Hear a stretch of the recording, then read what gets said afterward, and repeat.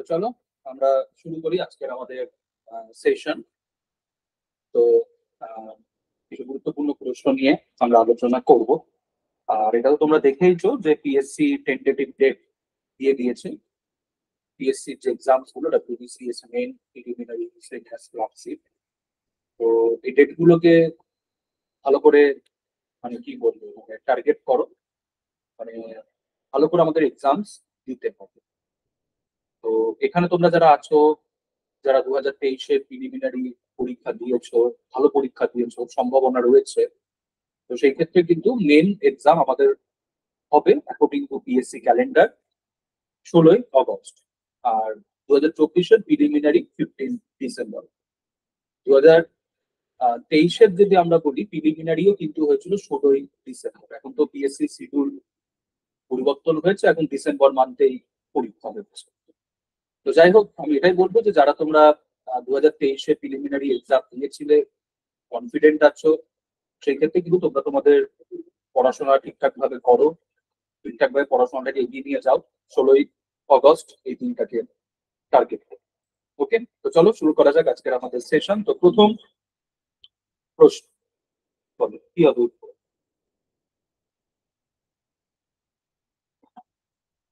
First question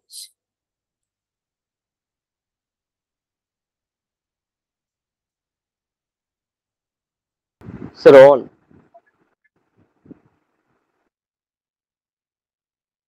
ও বাবা এখানে তো অপশন দ্বারা ভুল আছে only one only two all আর নান হ্যাঁ সরি আমি এটা দেখে নি এবার একটুখানি দেখে নাও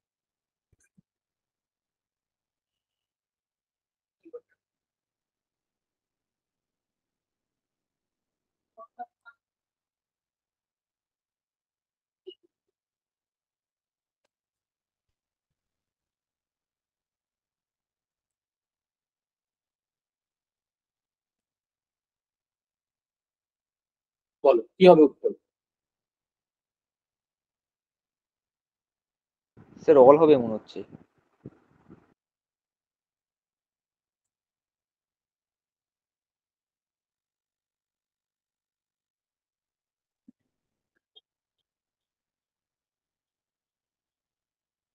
এখানে উত্তরটা হবে হচ্ছে অল ঠিক আছে?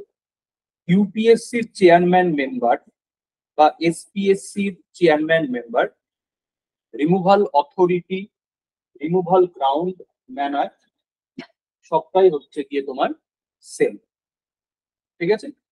তো ইউপিএসসি এবং এসপিএসসি চেয়ারম্যান মেম্বারকে রিমুভ করবে কে? প্রেসিডেন্ট ওকে এবার এখানে বলা হচ্ছে যে ইউপিএসসির চেয়ারম্যানকে আমরা যে গ্রাউন্ডে রিমুভ করতে পারব, তার মধ্যে একটা অন্যতম গ্রাউন্ড হচ্ছে মিস বিহেভিয়ার তো এই মিস বিহেভিয়ারের যে গ্রাউন্ড এই গ্রাউন্ড ইনকোয়ারি করবে সুপ্রিম কোর্ট সুপ্রিম কোর্টের ইনকোয়ারির পরিপ্রেক্ষিতে প্রেসিডেন্ট কি করবেন? ইউপিএসসির চেয়ারম্যানকে হচ্ছে রিমুভ করবে। এবার এই যে যখন ইনকোয়ারি চলছে সুপ্রিম কোর্টে সেই সময় প্রেসিডেন্ট কি করতে পারবে? ইউপিএসসির চেয়ারম্যান বা মেম্বারকে সাসপেন্ড করতে পারবে। যেহেতু তার বিরুদ্ধে একটা অভিযোগ, সেই অভিযোগের ইনকোয়ারি চলছে, সেই পরিপ্রেক্ষিতে প্রেসিডেন্ট কি করতে পারবে? চেয়ারম্যান বা মেম্বারকে সাসপেন্ড করতে পারবে। এই যে প্রভিশনসটা যখন আমরা এসপিএসসির ক্ষেত্রে যখন আমরা বলব, তখন কিন্তু এটা হয়ে যাবে হচ্ছে গভর্নর ঠিক আছে? এই জায়গাটা কিন্তু খেয়াল রাখতে হবে।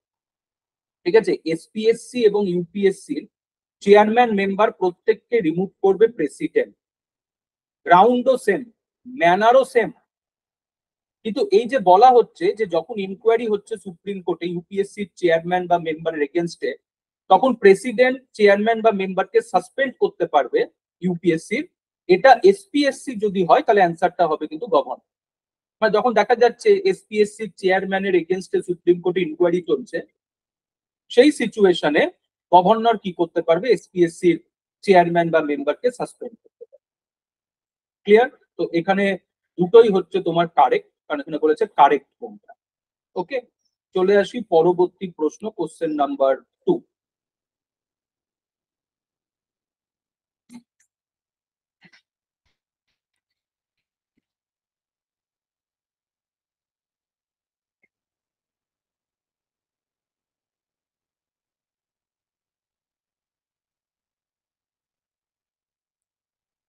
sir none.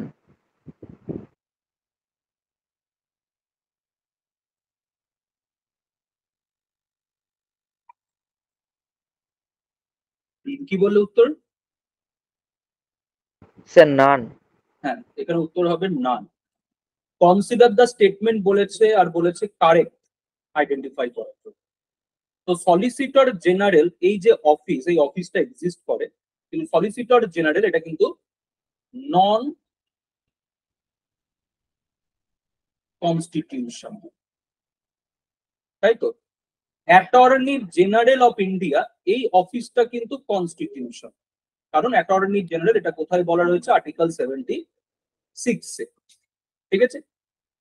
অ্যাটর্নি জেনারেল হচ্ছে কেন্দ্র সরকারের legal adviser legal adviser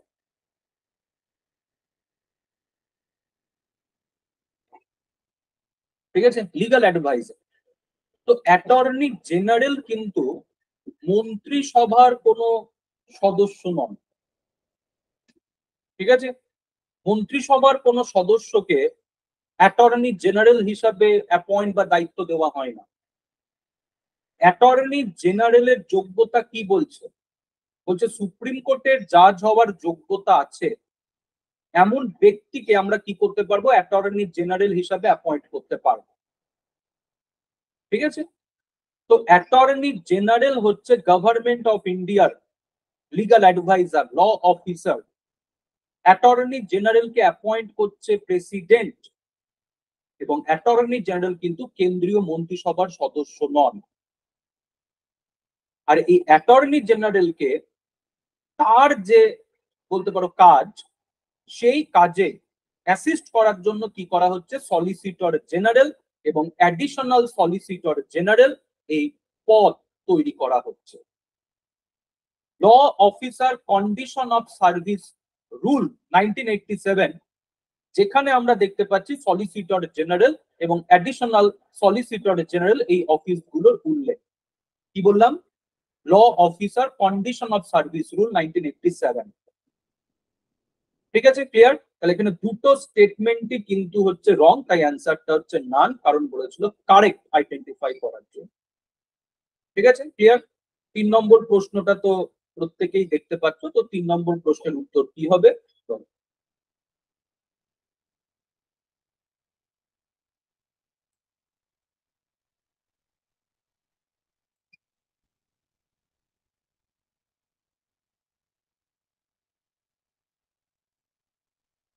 Sir all of the above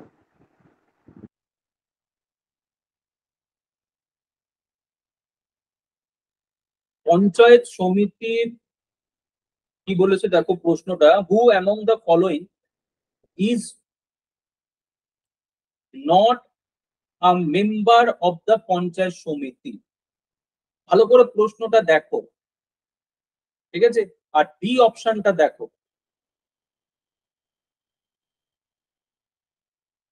sir option C হবে। সি স্যার বুঝতে পারছ তো প্রশ্নটা কি? হ্যাঁ স্যার। প্রশ্নটা করেছে যে who is not a member R D তে বলছে অল আর মেম্বার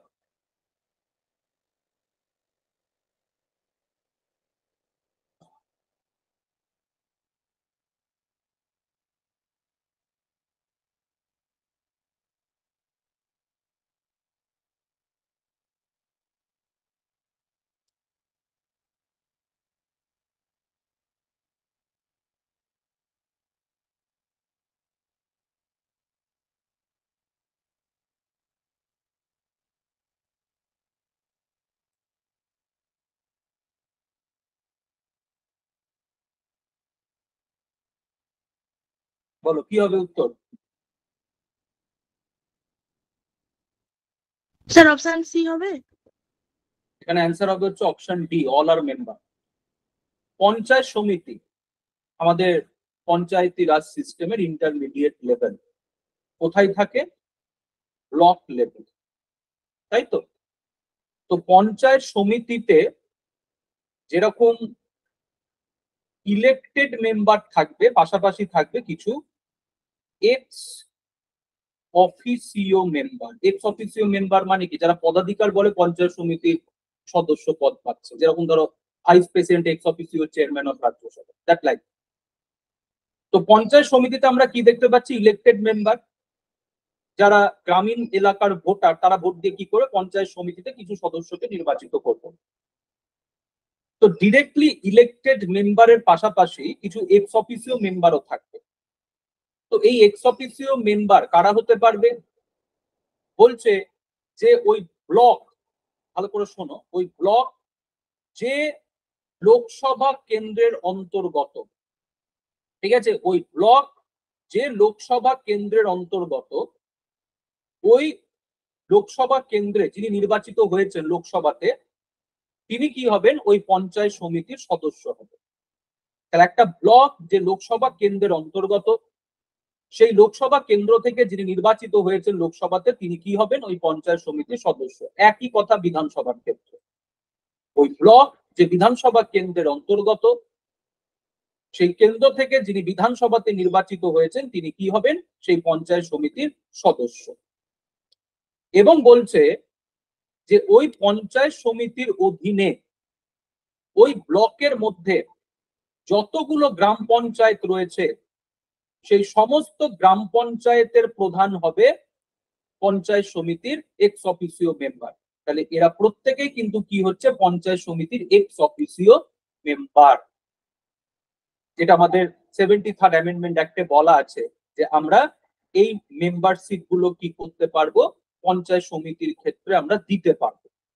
হ্যাঁ অবশ্যই এই যে ব্যাপারটা, এই ব্যাপারটা তখনই থাকবে যখন রাজ্য আইন করে কি করবে? এটাকে অ্যালাউ করবে। রাজ্য যদি আইন করে অ্যালাউ করে, তাহলে এই মেম্বারশিপগুলো আমরা দেখতে পাবো। আমাদের পশ্চিমবঙ্গের ক্ষেত্রে আছে। আমাদের পশ্চিমবঙ্গের যে পঞ্চায়েত আইন, সেখানে এই ফিচার্স রয়েছে। ঠিক আছে?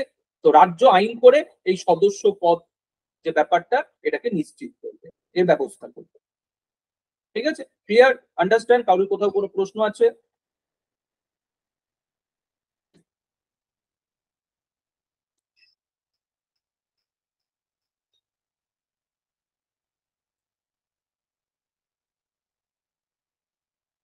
দেখো চার নম্বর।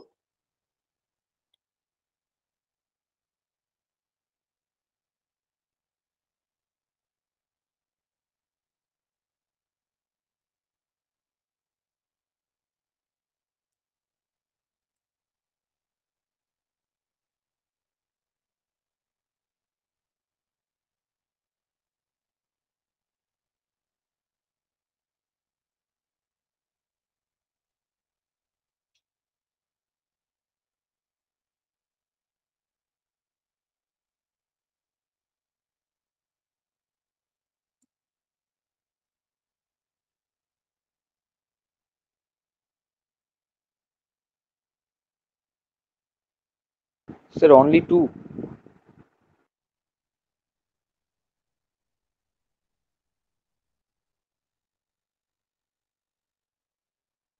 Correct statement বলেছে High Court cannot issue writs to any person outside its territorial jurisdiction. মানে ক্যালকাটা হাইকোর্ট ক্যালকাটা হাইকোর্টের যে এখতিয়ার তার বাইরে গিয়ে রিট ইস্যু করতে পারবে মানে ক্যালকাটা হাইকোর্ট ওয়েস্ট বেঙ্গল এবং আন্দামানের মধ্যে রিট ইস্যু করতে পারবে হ্যাঁ এটা ঠিক আছে। An aggrieved person can approach the Supreme Court directly against the decision of tribunal. এগেনস্টে একজন ব্যক্তি ডিরেক্টলি সুপ্রিম কোর্টে অ্যাপ্রোচ করতে পারবে। এটা রং এখানে অ্যান্সারটা কি বলেছে? কারেক্ট অনলি ওয়ান হবে কারেক্ট অনলি ওয়ান হবে কারেক্ট আজকে ক্যালকাটা হাইকোর্ট তার এখতিয়ারের বাইরে কিন্তু রিট ইস্যু করার ক্ষমতা। আমরা রিট ইস্যু করার যে ক্ষমতা, সেই ক্ষমতার ক্ষেত্রে হাইকোর্ট এবং সুপ্রিম কোর্টের যে কম্পারিজন করি, সেখানে আমরা একটা দিক থেকে হাইকোর্টকে সুপ্রিম কোর্টের থেকে এগিয়ে রাখি সেটা হচ্ছে কি যে হাইকোর্ট ফান্ডামেন্টাল রাইট এবং আদার পারপাসে রিট ইস্যু করতে যেখানে supreme court only fundamental right কিন্তু আর একটা বিষয় যেখানে কিন্তু সুপ্রিম কোর্ট হাইকোর্টের থেকে সেই বিষয়টা কি? যে সুপ্রিম কোর্ট রিট ইস্যু করার এলাকা আর হাইকোর্টের রিট ইস্যু করার এলাকা। সুপ্রিম কোর্ট সমগ্র ভারতবর্ষের ক্ষেত্রে কি করতে পারে? রিট ইস্যু করতে পারে, কারণ সুপ্রিম কোর্ট হচ্ছে দেশের সর্বোচ্চ আদালত। কিন্তু হাইকোর্টের যে এখতিয়ার, সেই এখতিয়ার কিন্তু একটা স্টেটের যে বাউন্ডারি সেই বাউন্ডারির ক্ষেত্রে সীমাবদ্ধ। আচ্ছা ক্যালকাটা হাইকোর্টের এখতিয়ার ওয়েস্ট বেঙ্গলের যে বাউন্ডারি সেই বাউন্ডারির ক্ষেত্রে সীমাবদ্ধ। আজকে ক্যালকাটা হাইকোর্ট ওয়েস্ট বেঙ্গলের বাইরে গিয়ে কিন্তু রিট ইস্যু করতে পারেন। তাহলে তো সুপ্রিম কোর্ট হাইকোর্ট একই হয়ে গেল। তাই না? তাই সেই ক্ষেত্রে এই স্টেটমেন্টটা কি আছে? ঠিক আছে। ঠিক আছে? হ্যাঁ অবশ্যই ক্যালকাটা হাইকোর্ট ক্যালকাটার বাইরে ওয়েস্ট বেঙ্গলের বাইরে কোনো ক্ষেত্রে রিট ইস্যু করতে পারে। কিন্তু অবশ্যই সেই বলতে পারো ঘটনা সেই ঘটনার বলতে পারো যে কানেকশন সেই কানেকশনটা কিন্তু ওয়েস্ট বেঙ্গলের সাথে হতে হবে। হতে হবে। মানে একটা নেক্সাস থাকতে হবে যে ক্যালকাটা হাইকোর্ট যে ব্যক্তি বা যে প্রতিষ্ঠানের এগেনস্টে রিট ইস্যু করছে, তার সাথে ওয়েস্ট বেঙ্গলের কি আছে? সেই নেক্সাসটা আছে। যদি সেই নেক্সাসটা যদি না থাকে মানে সেই সম্পর্কটা যদি না থাকে, তাহলে কিন্তু হবে না। ওকে মানে ধরো আজকে উত্তর প্রদেশের সরকার উত্তর প্রদেশের কোন নাগরিকের মৌলিক অধিকার ভাইলেট করেছে। তাহলে উত্তর প্রদেশের সেই নাগরিক ক্যালকাটা হাইকোর্টের কাছে এসে কি রেমেডি চাইতে পারে?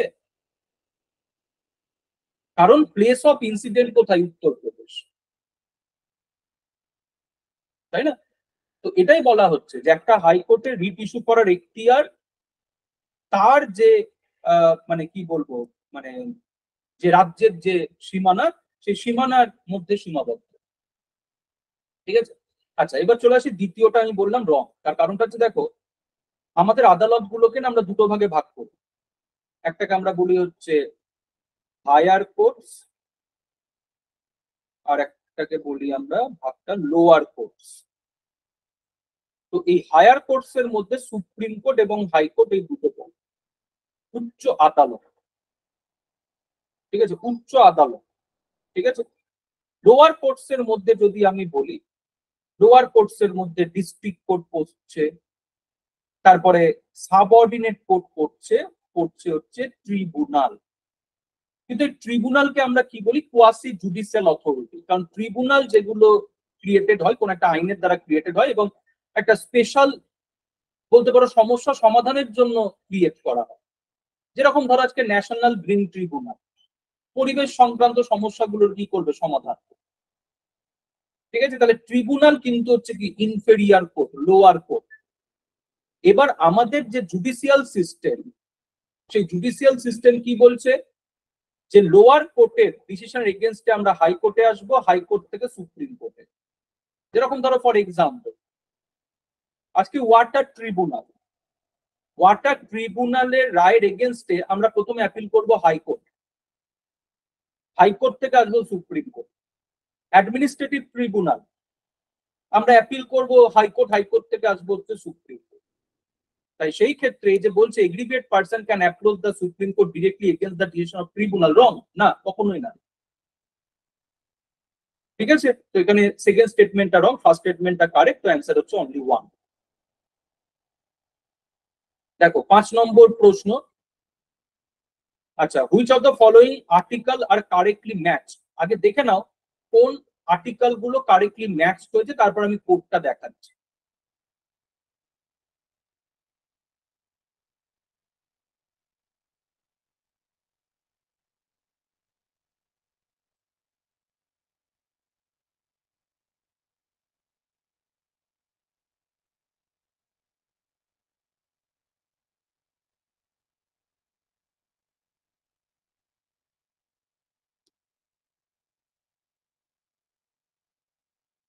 আচ্ছা দেখো কোড দেখো।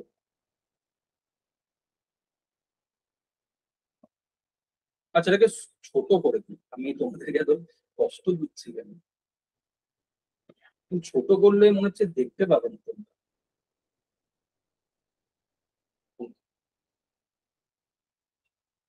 না, এবার ঠিক আছে দেখো। দেখতে পাচ্ছ তো? হ্যাঁ স্যার। বলো কি হবে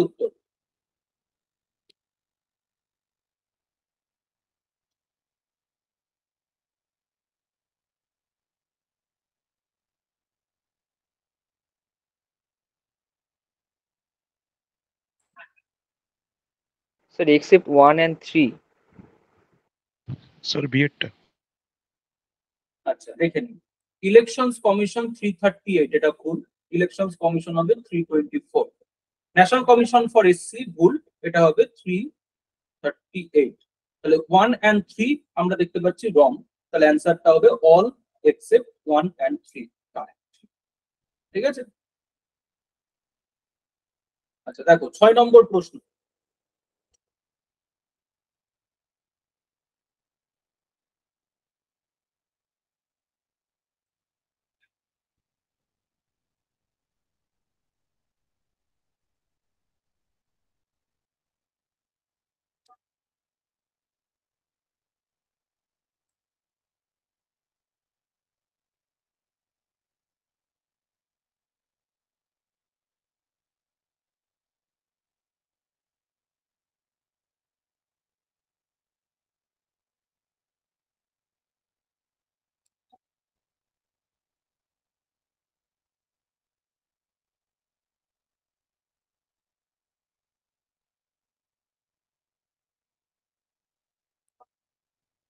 বলো কি হবে? আচ্ছা তোমরা কতটা one only. আজকে তোমরা কতটা ভালো? আজকে তোমরা কতটা ভালো অ্যান্সার করছ তার উপর ইন্ডিয়ার হার জিত নির্ভর করছে। মানে তোমরা যদি জিতো তাহলে ইন্ডিয়া হয়তো জিতবে। তোমরা যদি হেরে যাও ইন্ডিয়াও হয়তো হেরে যাবে। ঠিক আছে? তো এটা আমি কখনোই চাইব না যে তোমরা হেরে যাও। ঠিক আছে? আর এটাও আমি কখনো চাইব না যে ইন্ডিয়া হেরে যাও ঠিক আছে? সেক্ষেত্রে জিততে কিন্তু হবে। তো কি বললে অ্যান্সার এবার বলো। স্যার ওয়ান অনলি আচ্ছা শুনতে পেলাম না বলো। স্যার এইটটা এইটটা বলছে কি বলেছে দেখি বলেছে কারেক্ট এই জায়গাগুলো না খুব আমি একটা তোমাদের বলি যে তোমরা যখন এরকম প্রশ্ন যখন উত্তর করবে না তখন প্রথমে এই এইরকম ভাবে আন্ডারলাইন করে দেবে। যখন পেপার অ্যান্ড পেনে পরীক্ষা দিবে। ঠিক আছে? অনলাইনে পরীক্ষা হলে তার কিছু করার নেই। পেপার পেনে যখন পরীক্ষা হবে না, তখন খুব হাইলাইট করে দেবে এটাকে। কারণ আমরা ম্যাক্সিমামটাই জানো তো, ভুল করি এই জায়গাটাতে যে কি বলেছে? কারেক্ট ইনকারেক্ট ট্রু না ফলস তো এটাকে হাইলাইট করে দেবে। যখনই হাইলাইট করে দেবে না, তখন এই জায়গাটাই আর ভুল হওয়ার আমাদের সম্ভাবনা থাকবে। তো হাইলাইট করে দিলে হাইলাইট করে আমরা কি দেখতে পাচ্ছি? বলছে কারেক্ট আচ্ছা এবার চলে আসি দুটো স্টেটমেন্টে president can provide J S PSC প্রথমেই ভুল দেখতে পাচ্ছি তো ফার্স্ট স্টেটমেন্ট রং স্টেটমেন্টের পাশে ক্রস দিয়ে দিবে। যদি তোমার কনফিডেন্স থাকে হ্যাঁ ফার্স্ট স্টেটমেন্ট রং তো ক্রস দিয়ে দিবে। ওকে কারণ জেপিএসসি প্রেসিডেন্ট ক্রিয়েট করেন জেপিএসসি ক্রিয়েট করে পার্লামেন্ট আইন করে। কি বললাম? পার্লামেন্ট আইন করে কি করে? যে এসপিএসসি হচ্ছে গঠন করে। ঠিক আছে? ক্লিয়ার আচ্ছা যে এসপিএসসি গঠনের ক্ষেত্রে কেন্দ্রকে রিকোয়েস্ট করে হচ্ছে স্টেট প্রথমে স্টেটগুলো কি হয়? সম্মত হয়। মানে ধরো এ বি সি এই তিনটে স্টেট প্রথমে কি হলো? সম্মত হলো। এগ্রিড ওকে তাহলে এবিসি কি হলো? সম্মত হলো। এবার এবিসি সম্মত হওয়ার পর এই তিনটে রাজ্যের আইনসভাতে কি হতে হবে? রেজলিউশন পাস হতে হবে যে এসপিএসসি গঠনের বিষয়। শুধুমাত্র এগ্রিড হলে হবে না। ধরো ব্যাপারটা এরকম নয় যে তিনটে বন্ধু মিলে প্ল্যান করলে যে চল ঘুরে আসি এই গরমে দার্জিলিং থেকে। কিন্তু আলটিমেটলি বাড়িতে কিন্তু তোমাকে কি করতে হবে? সেই অনুমতিটা নিতে হবে। মানে কি? স্টেট লেজিসলেচার তিন বন্ধু মিলে তোমরা সম্মত হলে হ্যাঁ ঠিক আছে, চল, যাব। কিন্তু আলটিমেটলি তোমাদের যাওয়াটা তখনই হবে যখন তোমাদের বাড়ি কি করবে পারমিশন দেবে। তার মানে কি? স্টেট গভর্নমেন্ট সম্মত হলো। তিনটে স্টেট গভর্নমেন্ট সম্মত হলো, যে এসপিএসসির বিষয়। তাহলে তিনটে গভর্নমেন্ট সম্মত হয়ে গেলেই যে যে এসপিএসসি গঠন করে দিবে পার্লামেন্ট বা গঠন হয়ে যাবে তেমনটা কিন্তু নয়। এরপরে কি হতে হবে? ওই যে তিনটে রাজ্য সম্মত হলো স্টেট গভর্নমেন্ট সম্মত হলো, ওই তিনটে স্টেটের লেজিসলেচারে কি হতে হবে? রেজলিউশন পাস করতে হবে। তারপরে গিয়ে পার্লামেন্ট কি করবে? আইন করে যে এসপিএসসি গঠন করবে। আচ্ছা চলে আসি সেকেন্ড স্টেটমেন্ট সেকেন্ড স্টেটমেন্ট কি বলছে? যে SPSC will be consider as constitutional body with all the powers of SPSC ঠিক আছে? যে যে এসপিএসসি এসপিএসসির মতনই সমস্ত পাওয়ার অ্যান্ড ফাংশন কি করবে? এক্সারসাইজ করবে। কারণ কি? যে এসপিএসসি তো একটা স্টেট রিক্রুটিং এজেন্সি তাই এসপিএসসি যে কাজগুলো করে, যে এসপিএসসি সেই কাজগুলোই করবে। কিন্তু যে এসপিএসসি কে আমরা কোনোভাবে কনসিডার করতে পারব না কনস্টিটিউশনাল বডি না। যে এসপিএসসির যে স্ট্যাটাসটা থাকবে সেটা হচ্ছে স্ট্যাটিউটরি বডি তার কারণ কি? পার্লামেন্টের আইনের দ্বারা গঠিত। তাহলে এখানে দুটো স্টেটমেন্ট দুটো স্টেটমেন্টই রং কি জানতে চেয়েছে? কারেন্ট তাহলে অ্যান্সার কি হবে?